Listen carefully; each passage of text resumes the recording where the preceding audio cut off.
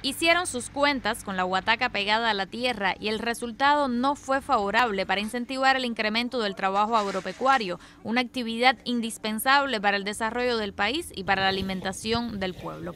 Los costos de la electricidad, el agua, los piensos y los insumos productivos crecieron más que las utilidades que pudieran tener quienes cosechan a pie de surco. Sin embargo, no podemos aspirar a producciones donde nuestros campesinos pierdan, así que durante los días 22 y 24 de febrero se realizó un intercambio profundo con representantes de diversas formas productivas de la isla. A raíz del análisis y de la disposición de cambiar todo lo que pueda ser cambiado sin perder el objetivo de la tarea de ordenamiento, se acordaron nuevos ajustes en la conformación de los precios del sector agropecuario.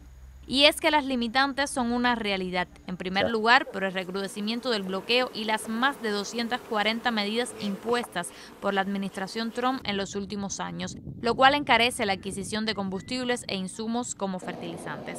Ante el compromiso de los productores, de campesinos, de las formas productivas de continuar produciendo alimentos e incluso intensificar las producciones, aplicar la innovación y la ciencia y revisar cuánto ellos pueden transformar, se modificaron las tarifas de gastos. Se acordó la reducción del 32% del precio del agua, mientras que la tarifa eléctrica para regadíos y otras actividades bajó entre un 28 y un 25%, una de las problemáticas más debatidas en los últimos meses.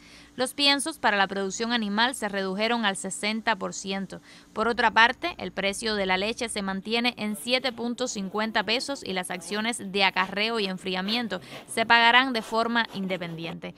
Otro de los asuntos más complejos es la producción arrocera, vital para la sustitución de importaciones, por lo que se incrementa en 1.483 pesos el precio de acopio del grano y un monto de 318 pesos por quintal.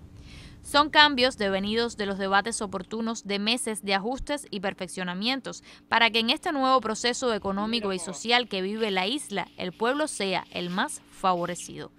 Yanelis Pereira García, Notisur.